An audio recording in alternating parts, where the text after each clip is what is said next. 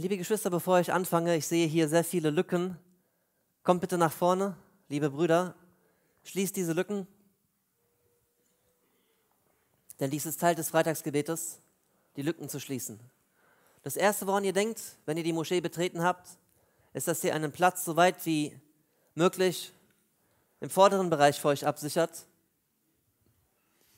Denn darin ist auch unermessliche Belohnung bei Allah Ta'ala verknüpft.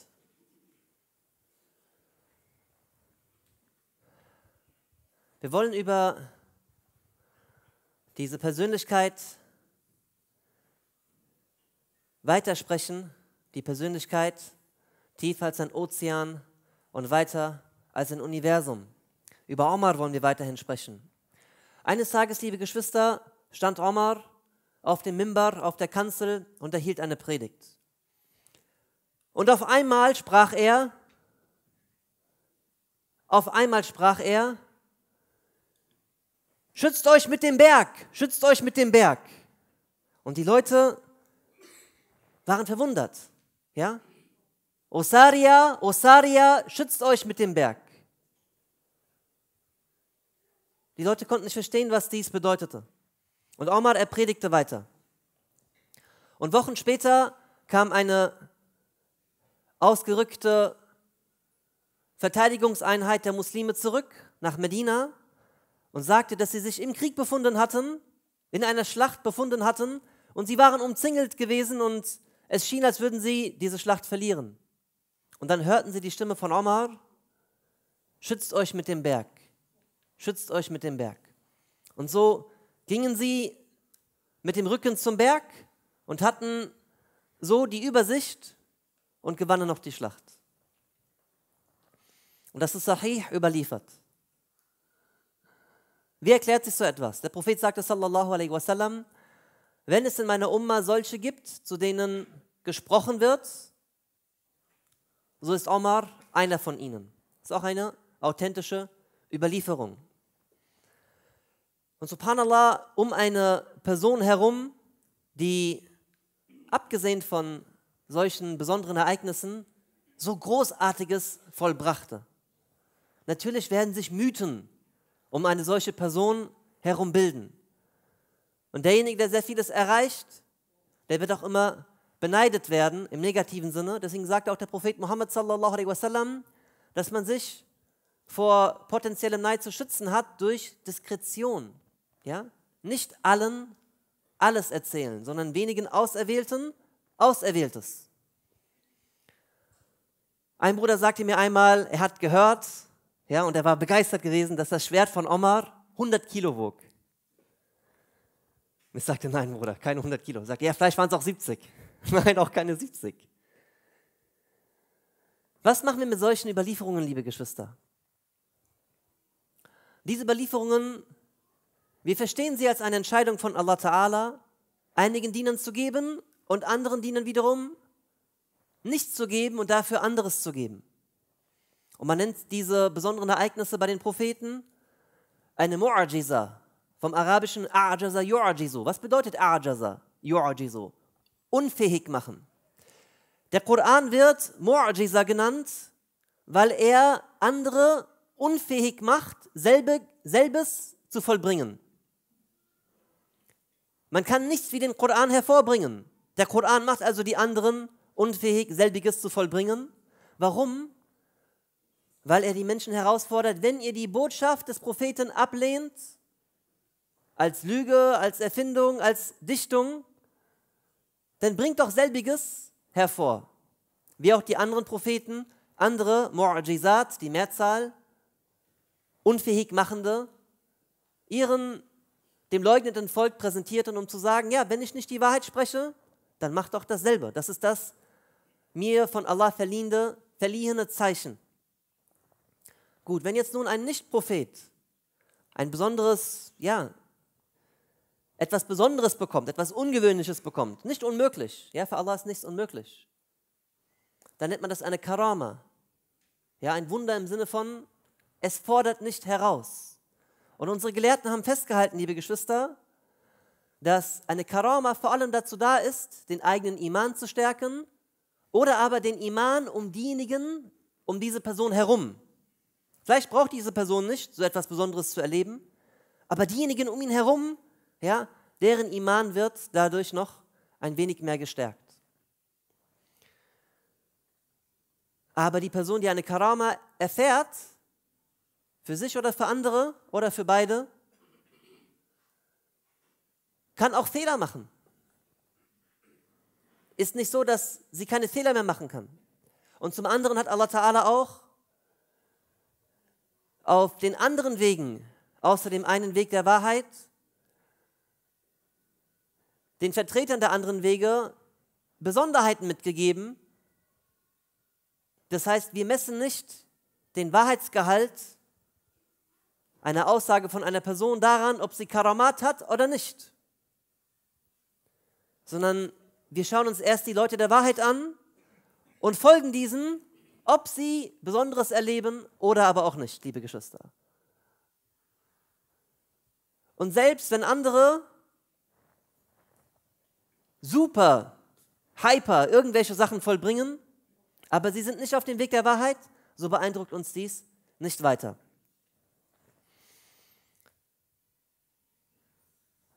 Ich möchte über Omar sprechen, über sein tiefes Verständnis, möge Allah mit ihm zufrieden sein, vom Tawhid. Und sein, sein umfassendes Situationsverständnis und seine Menschenkenntnis. Was waren seine Worte gewesen, als er den Stein küsste an der Kaaba, den schwarzen Stein? Er sagte, du bist nur ein Stein, der weder mir nutzen kann, noch mir schaden kann. Und hätte ich nicht gesehen, dass der Prophet sallallahu alaihi wasallam dich küsst, dann hätte ich dich auch nicht geküsst. Und dies sagte er auch laut. Das wurde ja überliefert. Das ist ja nicht etwas, was er geträumt hat und andere haben das dann aufschreiben können.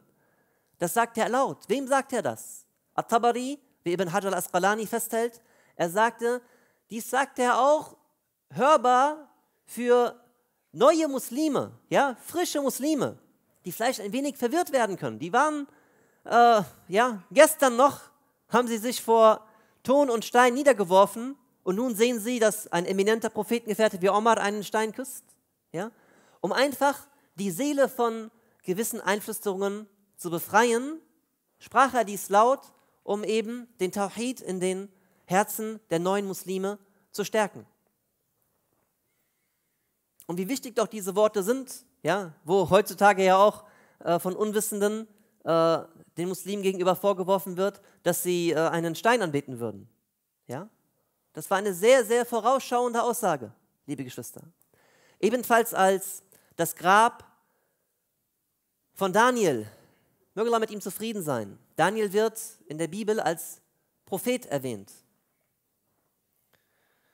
Und als dieses entdeckt wurde, und dies gehört, ich habe euch öfters bereits zu mehreren Gelegenheiten ähm, dargelegt die Einteilung, die Dreiteilung der Gelehrten in Bezug auf das, was in den Schriften der Schriftbesitzer steht, also den Juden und den Christen. Das, was vom Koran und von der Sunna bestätigt wurde, bestätigen wir.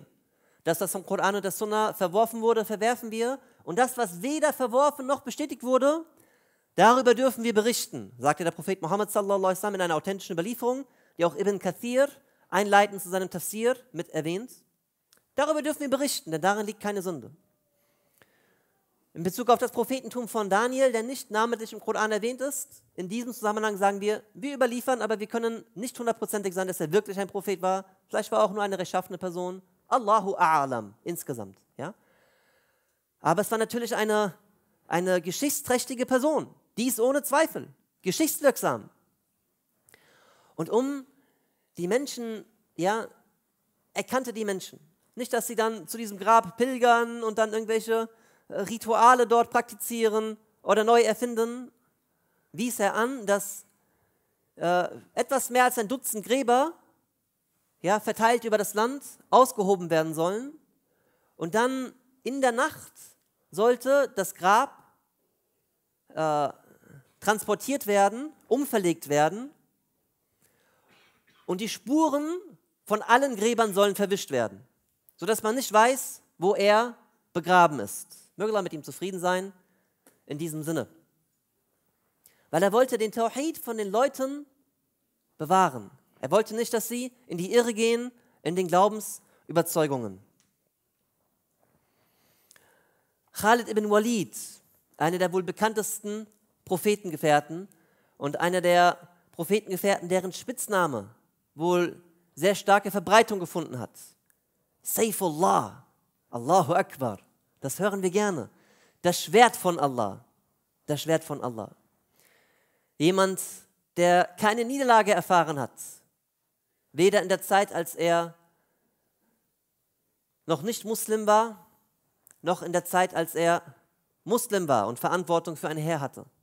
Eine großartige Persönlichkeit. Omar, als er Khalif war, er entschied diese großartige Persönlichkeit. Und das war ein, verfolgt ihr die, die Schachpartie? Manchmal schaue ich mir eine Schachpartie oft im Internet an. Zwischen Anand und Carlsen. Ja? Er war ein Schachspieler, aber in Sachen Krieg. Der beste Schachspieler in Sachen Krieg. Ungeschlagen, undisputed. Meister aller Klassen. Und was entschied Omar? Möge er mit ihm zufrieden sein? Er wechselte ihn aus. Warum? Warum wechselt er ihn aus? Es heißt doch, never change a winning team. Ändere niemals eine erfolgreiche Mannschaft. Und er schrieb, er wollte nicht, dass verwirrte Menschen den Sieg Khalid zuschreiben anstelle von Allah Ta'ala. Denn Allah macht, was er will. Allah entscheidet, was er will. Dies hielt Omar schriftlich fest, als er Khalid ibn Walid, möge mit ihm zufrieden sein, absetzte als Heeresführer. Seht ihr, wie besorgt er in den Angelegenheiten des Alltags war, den Tawhid zu wahren und auch nicht die Kritik eines Kritikers fürchtete, weil natürlich, dies war, musste man kritisieren, ja, von einem gewissen Standpunkt. Aber von einem spirituellen, von einem, von einem Tawhid-Standpunkt war es eine wichtige und richtige Vorsichtsmaßnahme von Omar. Möge Allah mit ihm zufrieden sein. Wenn man Omar und Khalid, möge Allah mit beiden zufrieden sein, in einem Satz erwähnt, die beleseneren Geschwister unter uns werden wissen, da gab es oft Zank. Da gab es Argumente zwischen beiden. Da gab es Streitereien, Zoff, Ärger. Wofür? Für Allah Ta'ala. Weil beide verschiedene Ansichten hatten, die sie sich erlauben durften aufgrund ihres tiefen Einblickes. Wie erklärt sich das? Nicht, weil sie irgendetwas Persönliches ausgetragen haben, sondern weil sie sich ihrer Verantwortung bewusst waren. Und weil sie auch wussten, der andere argumentiert mit mir nicht wegen persönlichen Dingen, sondern für Allah Ta'ala und aufgrund von Wissen und Erfahrung. Ich möchte einige Dinge beleuchten im Rahmen dieser Konflikte. Zum einen sagen auch die Gelehrten, wollte, das, wollte Omar, möge mit ihm zufrieden sein, dass es auch einen Nachwuchs gibt. Weil oft ist es so, ja, dass sich die Jüngeren, diejenigen in den zweiten und dritten Reihen, die ruhen sich etwas aus. Die sagen, ja, der macht das. Ja? Und sind immer fleißig am Weiterleiten. Ja? Egal welche Anfrage kommt, ah, ich habe da eine Telefonnummer. Weiterleiten, weiterleiten, weiterleiten, weiterleiten, weiterleiten. Ja? Und dann gibt es sogar solche, die, wenn sie gefragt werden, die könnten auch weiterleiten und sagen, ah, der leitet immer alles weiter. Ich frage ihn. ja? Aber Omar wollte, dass auch ein Nachwuchs kommt. Und Nachwuchs, der kommt nicht aus dem Nichts heraus. Da muss man auch Verantwortung übertragen. Da muss man auch Aufgaben zuweisen. Dies war so auch eine große Weisheit von Omar, dass er für Nachwuchs sorgte. Und weiterhin gab es zwei verschiedene Philosophien bei beiden Prophetengefährten. Der eine, er mochte die Dezentralisierung dass also jeder, der eine Aufgabe bekommen hat, mehr oder weniger diese selbstständig machen kann, ohne dass er sich immer großartig absprechen muss und Erlaubnis für jeden der einzelnen Schritte holen muss. Wer war das? Das war Khalid ibn Walid. Er sagte, du hast mir eine Aufgabe gegeben, ja, über dieses Gebiet, innerhalb dieses Bereiches, lass mich einfach machen. Am Ende des Jahres sage ich dir, wie es gelaufen ist. Aber Omar sagte, nein, das geht nicht. Du bist in meinem, in meinem Dienst. Ich muss über jeden kleinen Schritt und über jede Entscheidung, die du treffen musst, nicht getroffen hast, die du treffen musst, muss ich Bescheid wissen, damit ich dann entscheide. Und deswegen der eine, der wollte, ja, Zentralisierung, der andere wollte Dezentralisierung und in dem Rahmen gab es, wie gesagt, äh, viele Meinungsverschiedenheiten zwischen beiden. Aber das war, wie gesagt, für Allah und nicht, um persönliche Konflikte auszutragen. Und beide waren auch ja, äh, im Herzen miteinander stets vereint. Und in diesem Rahmen, liebe Geschwister, in diesem Rahmen, warum sage ich das? Warum, warum wähle ich diese Aspekte aus? Natürlich, ihr seid nicht nur in einer Moschee aktiv, beziehungsweise nicht nur mit einer Moschee verbunden. Viele von euch kommen ja, aus einer anderen Wohngegend in Frankfurt oder sogar etwas außerhalb von Frankfurt. Und ihr habt Eltern, ihr habt Geschwister, die auch in anderen Moscheen aktiv sind. Und dann kommen immer diese Berichte. Ja, ah, da gibt es Stress und da Vorstandswechsel und hier der Imam und der Vorstand. Ja, kennen wir alle. Aber dass wir verstehen können, viele Konflikte, die meisten, sie sind nicht persönlicher Natur und sie sind für Allah und manchmal haben auch die, die Strukturen damit zu tun. Versteht ihr, was ich meine? Und die Moscheearbeit, liebe Geschwister, ist eine ehrenamtliche Arbeit in der Regel. Egal, was Menschen machen. Manche Leute kommen hier rein in die Moschee, ihr kennt sie nicht und sie haben einen Großteil ihres Lebens für die Moschee gegeben. In der Buchhaltung, in der Verwaltung, ja, in Bereichen, die vielleicht nicht so äh, präsent sind, sondern ja, diese, das, was hinter der Bühne, in Anführungsstrichen, das, was hinter dem Mimbar passiert, ja, dort wurden äh, Aufgaben von vielen Geschwistern auch und werden Aufgaben von vielen Geschwistern getragen. Und natürlich, ja, Leute kommen gestresst nach der Arbeit in die Moschee und denen, sie erwartet auch Aufgaben zu Hause. Und dann in dieser Situation sprechen sie miteinander und ja, sie haben Aufgaben weitergegeben, die, die nicht richtig ausgeführt wurden. Sie selbst haben Aufgaben bekommen, die sie nicht richtig ausgeführt haben, ja. Und dann ist die Kritik etwas zu hart, weil ja, sie tun ja ihr Bestes. Und in diesem Rahmen müssen wir verstehen, dass es halt ein bisschen Zoff gibt in den Moscheen. Wir sagen Alhamdulillah. Ja, das ist alles für Allah und auf seinem Wege. Ich möchte euch einmal ein Beispiel eines solchen Konfliktes geben. Khalid ibn Walid, er wollte, dass aus der Zakah ein Teil dafür genommen wird, die Herzen der neuen Muslime zu stärken.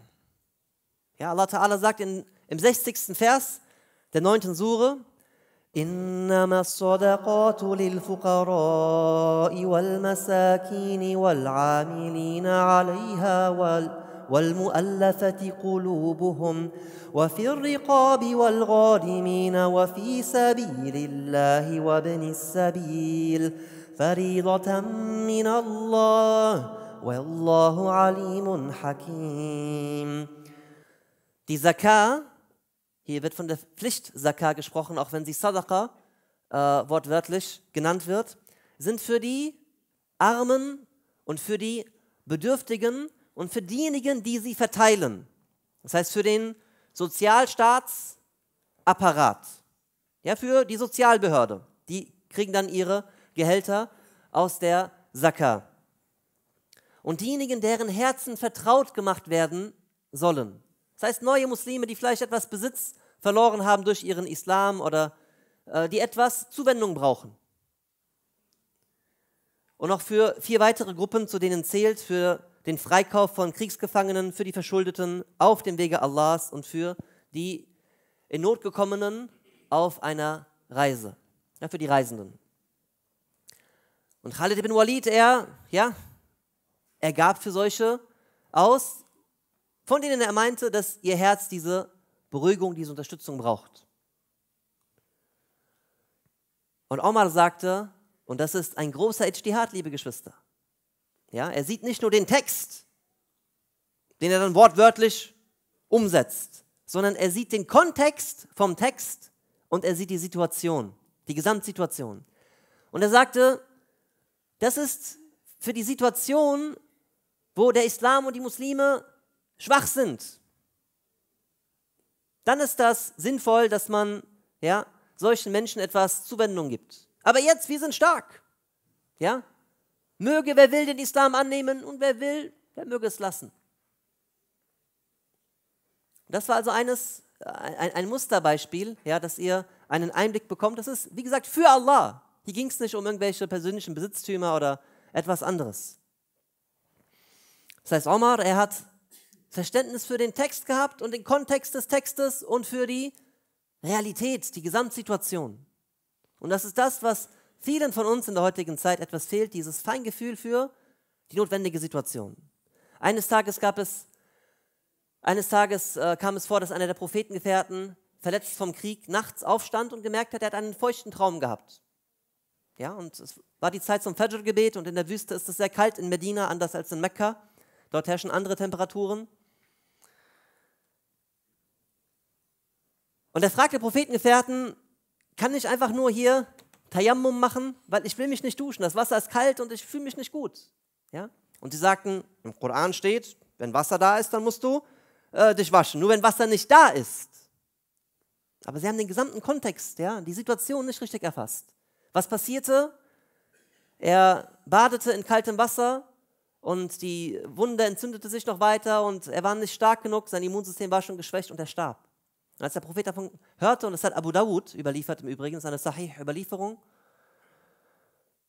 als der Prophet sallallahu alaihi davon erfuhr, sagte er, ihr habt ihn getötet. Ihr habt ihn getötet. Das heißt, mit einem oberflächlichen Verständnis, ja, habt ihr ihn getötet. Warum habt ihr nicht nachgehakt? Warum habt ihr nicht gefragt?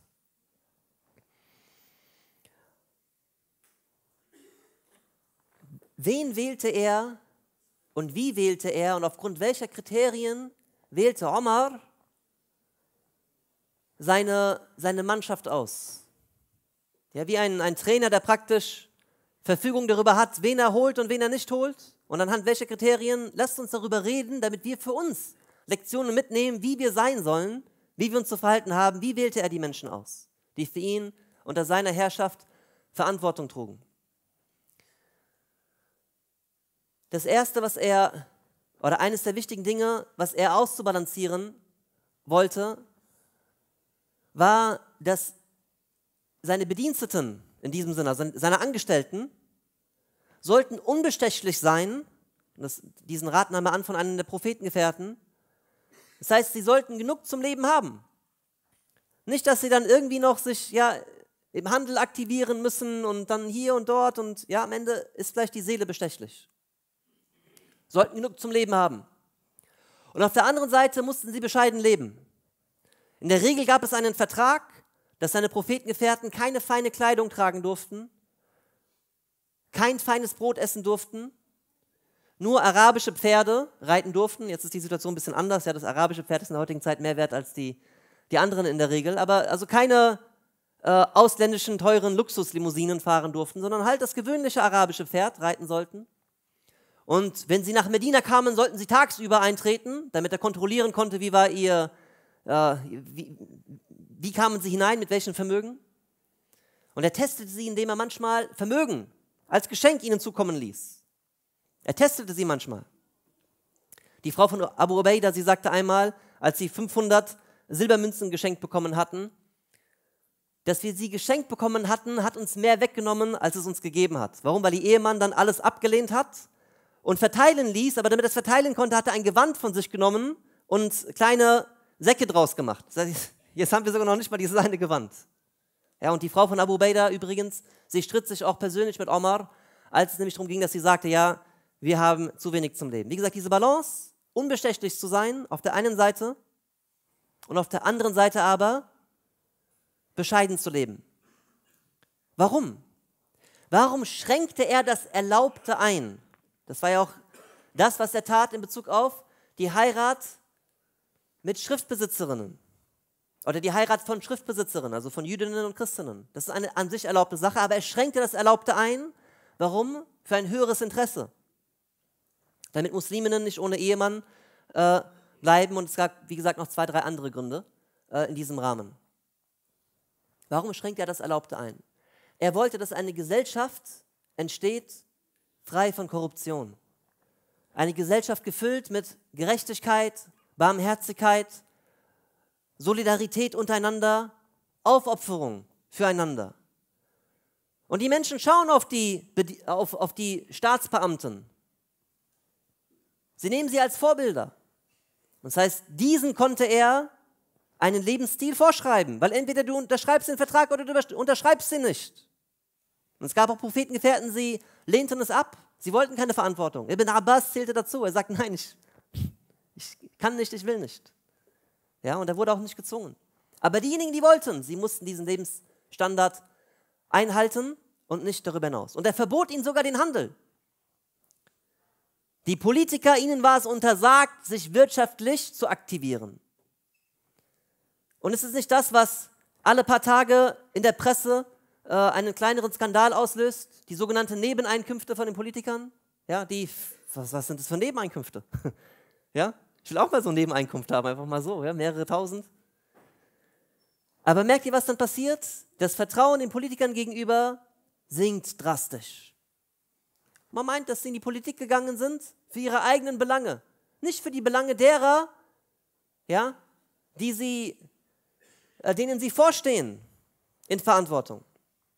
Aber um hier einen Riegel davor zu setzen, ja, hat er von allen, die er eingestellt hat, äh, ihr, ihr Besitz schriftlich festgehalten. Okay, du unterschreibst hier, also äh, wurden eingestellt, und in der Regel hat er sogar Verträge mit ihnen, schriftliche Verträge äh, geschlossen.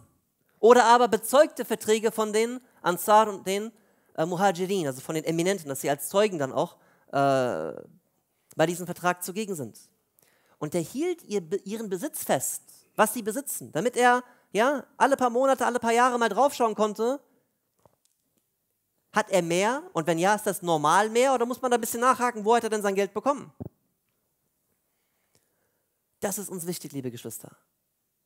Dass wir richtige Führung haben. Dass wir auch andere einsetzen, die dieses Amt verdienen. Nicht solche, die es nicht verdienen, liebe Geschwister. Und das war etwas, das Omar, was ihn besorgte. Wie setzt er die Leute ein? Einmal beriet er sich mit Al-Murira ibn Shu'aba. Er sagte, wen soll ich einsetzen? Denjenigen, der kompetent ist, aber weniger religiös? Oder denjenigen, der sehr religiös ist, aber nicht so kompetent? Und Al-Murira, er sagt ja, was denjenigen anbelangt, der sehr kompetent ist, aber weniger religiös, seine Kompetenz kommt den Menschen zu. Und seine geringere Religiosität spricht gegen ihn selbst. Aber er schadet damit nicht den anderen. Ich halte mir fest, also wenn wir jetzt hier von geringer religiös und so weiter sprechen, dann nicht wie heute geringer religiös, ja, sondern das ist äh, im Rahmen von 1 bis 2 halt 2 plus, 2, 2 minus, aber keine, keine 5 minus oder so. Versteht ihr, was ich meine? Nicht, dass wir jetzt irgendwie komische Vorstellungen haben von den geehrten ersten drei Generationen. Ja? Die waren alle religiös. Aber es gab halt religiösere als andere. Und Oma sagte, das sind wahre Worte. Und dann stellte er Al-Murira ein.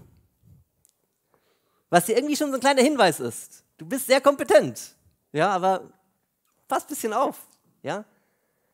Versuch Allah Ta'ala zu fürchten. Er sagte ihm, versuche das Vertrauen der Rechtschaffenen zu bekommen, es dir zu verdienen.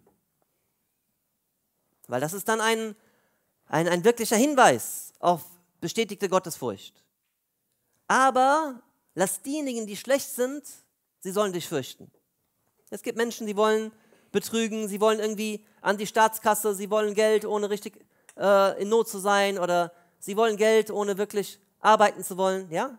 Diese Leute, sie sollten ja, nicht eingeladen sein von der Barmherzigkeit, der falschen Barmherzigkeit, sondern sie sollen wissen, oh, wenn ich um etwas bitte, worum ich kein Recht habe, dann werde ich mir einen Tadel einholen, ja, dann werde ich mir Kritik einholen. Und er wollte Leute haben, die nicht so wie der Boss rumlaufen. Ja?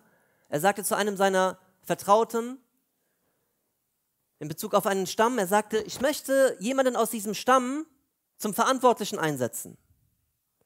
Er soll diese Eigenschaft haben, dass wenn er Verantwortung bekommt, wenn er einen Posten bekommt, dann wird er ihn so durchführen, als ob er ihn nicht hat.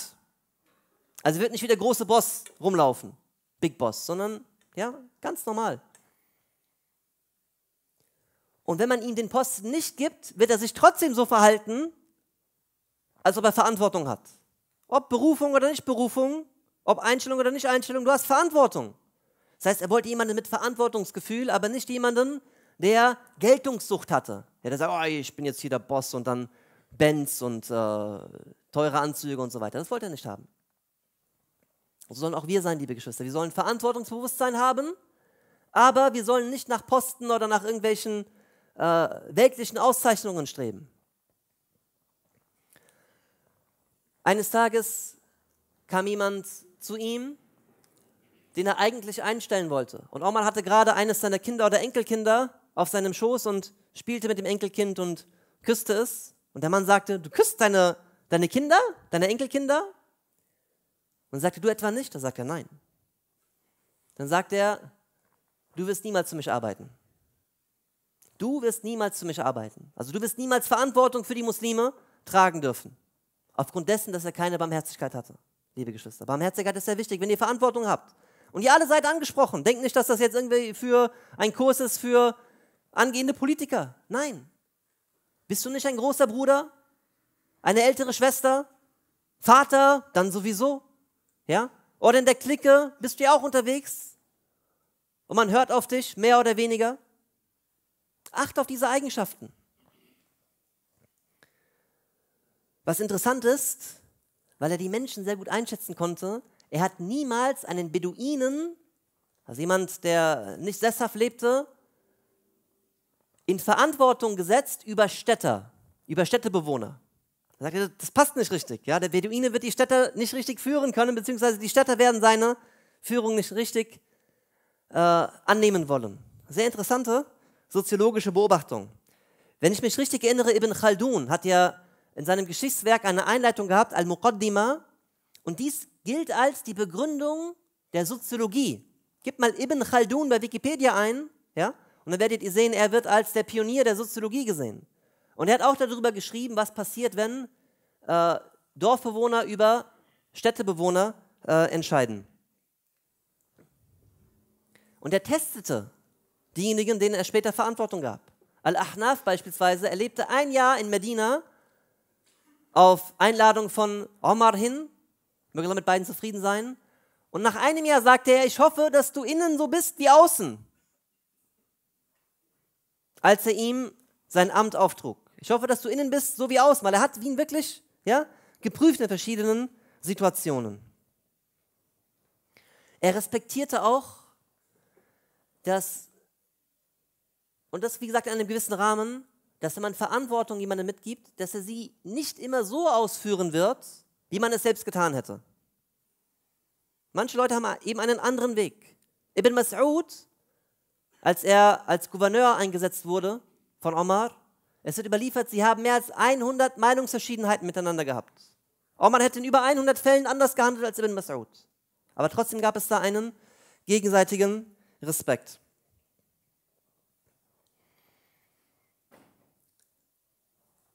Omar sagte zu einer Gelegenheit, im Rahmen dieser wichtigen Kompetenz, sagte, oh Allah, es bedrückt mich zu sehen, wie der Religiöse nicht kompetent ist und der Sündhafte kompetent ist. Ja? Diejenigen, die fähig sind, die Kompetenzen haben, bereut vor Allah. Reinigt euch vor Allah. Und dies wird auch eure Arbeit weiterhin segnen. Und diejenigen, die religiös sind, werdet fähig, lernt, erfahrt, damit ihr später, wie gesagt, noch mehr Verantwortung oder noch schwerwiegendere Verantwortung tragen könnt. Subhanallah, die Zeit geht so schnell vorbei. Das, das ist jetzt echt. Äh Lasst uns Allah Ta'ala an dieser Stelle um Vergebung bitten, denn er ist der Einzige, der uns zu vergeben vermag.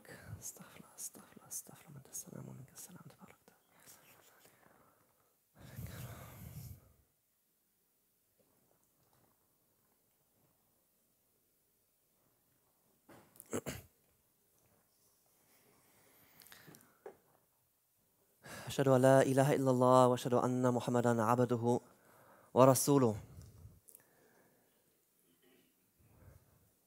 Was wähle ich jetzt aus? Ich wollte übrigens über die Spaziergänge von Omar sprechen. Es war eines seiner Merkmale, immer spazieren zu gehen und zu schauen, was er alles Gutes tun kann. Heute werde ich nicht dazu kommen. Doch einen, einen bringe ich euch. Omar, als seine Tochter Hafsa Witwe wurde, Chunais starb in Medina, möge Allah mit ihm zufrieden sein. Was hat Omar? Und seine Tochter war Teenagerin gewesen. Ja, Teenagerin, jung verheiratet und jung Witwe. Ist nicht schön. Omar und Omar, ja, von dem man sagt, sein Schwert war 100 Kilo schwer oder 70. Was nicht stimmt, okay? Nicht, dass sie nur das eine jetzt von der Chutba mit äh, nach draußen tragt und hier durcheinander bringt. Es war nicht 70 Kilo schwer, das kann ich euch garantieren. Ich habe es extra nachgeprüft, das, schwer, das schwerste Schwert, ja, was ich finden konnte, hat irgendwie 5,7 Kilo oder so gewogen. Ja, im, im, im, Mittelalter. Also wir gehen nicht davon aus, dass sein Schwert das Zehnfache gewogen hat. Ne, nehmt mal so eine, so eine Kurzhantelstange in die Hand und dann wisst ihr, was, was überhaupt äh, drei Kilo in der Hand bedeuten. Ja? Dieser Omar, er ging raus und suchte einen Mann für seine Tochter. Der hatte eine, eine väterliche, wirklich väterliche Beziehung zu seiner Tochter. Eines Tages fragte er seine Tochter. Er sagte, wie lang kann eine Frau von ihrem Mann getrennt sein? Weil er hatte ja Soldaten an die Fronten geschickt. Er hatte Soldaten an die Fronten geschickt und er fragte seine Tochter. Seine Tochter fragte er. Ja? Und sie antwortete ihm, ein, zwei, drei Monate geht noch, aber beim vierten Monat wird es schwer. Ja? Und dann hat er Order erlassen, dass die Soldaten nicht länger als vier Monate, nicht, nicht länger als drei Monate äh, von zu Hause weg sein sollen. Das heißt, seht ihr diese Beziehung? Und viele von uns sind nicht nur Väter, sondern sind ältere Brüder. Wen sollen eure Schwestern heiraten? Und am Ende stört ihr euch daran, dass sie vielleicht einen Antrag bekommen, ohne dass ihr mitwirken konntet. Ja, was erlaubt er sich? Ja? Oder dass sie sich vielleicht in jemanden verliebt. Ja? Tragt Verantwortung. Habt erstmal diese wunderbare Beziehung ja, zu euren jüngeren Schwestern oder zu euren älteren Schwestern oder zu euren Töchtern. Diese Vertrauensbeziehungen. Weil verkuppelt wird so oder so. Ob das jetzt auf dem Schulhof ist oder in der Universitätskantine oder in der Pause auf der Arbeit. Das ist normal, dass irgendwie Menschen ihr ihriges dafür tun, dass Leute zueinander finden. Aber zwei Kriterien sind Erfolgskriterien. Das erste ist die Kenntnis von der Person. Und wer könnte einen besser kennen als die eigene Familie? Und das zweite Kriterium, die Liebe. Wer liebt dich mehr als dein Vater oder als deine Mutter? Ja, oder dein älterer Bruder oder deine ältere Schwester oder deine Tante oder dein Onkel. Es geht nicht, dass es andere da gibt. Das heißt, dieses vom Herzen her Gutes wünschen und die Kenntnis von der Person, ja, die sind ein Erfolgsfaktor. Und das ist etwas, was wir in der Umma wiederbeleben müssen. Denn niemand behindert uns dort. Ja? Wir können nicht sagen, ja, der oder die oder Verschwörung hier oder. Nein, wir sind es, die uns in diesem Bereich ständig behindern. Lass uns Allah Ta'ala an dieser Stelle um Vergebung bitten und ihn bitten, O oh Allah, Ja Allah, Ja Mujib, Ja Rahman, Ja Rahim. Bitte schenk uns all das, was der Prophet Muhammad sallallahu alaihi wasallam von dir beten hat. Und erspare uns all das, wovor der Prophet auch bei dir sallallahu alaihi wasallam Zuflucht und Schutz gesucht hat. Vergib uns und unseren Eltern und unseren Geschwistern im Glauben insgesamt, O Allah. Bitte recht leite all diejenigen, in denen du Gutes siehst und lass uns daran Anteil haben. Bitte, O Allah, bitte befreie die Bekriegten, die Gefolterten, die Hungernden, die äh, Kranken, die Frierenden, O Allah, die, diejenigen, O Allah, die dich bitten, die der Verzweiflung nahe sind. Bitte steh ihnen bei und bitte lass unser, bitte helfe uns dabei, dass wir unser Möglichstes tun, all diesen Menschen beizustehen. O Allah, bitte lass uns das Wahre als wahr erkennen und Fürstreiter dessen sein und das Falsche und Nichtige als falsch und nichtig erkennen und Gegenstreiter dessen sein. Allahumma salli wa sallim ala nabina Muhammad wa ala ali Muhammad wa ashabihi Muhammad. Wenn wir nun zum Gebet aufstehen, liebe Geschwister, lasst uns lückenlos stehen und sicher gehen, dass die Handys alle ausgeschaltet sind, damit wir ein vertrauliches Gespräch mit Allah Ta'ala haben können. Und während ihr aufsteht, greift auch in eure Taschen hinein, holt euer Portemonnaie hinaus und lasst es rascheln. Nicht klimpern, lasst es rascheln und nicht klimpern. Spendet von dem, was Allah Ta'ala euch gegeben hat und er wird es euch mehr als nur ersetzen. Er wird das Verbleibende segnen und eure Sünden dafür löschen. Allahumma amin.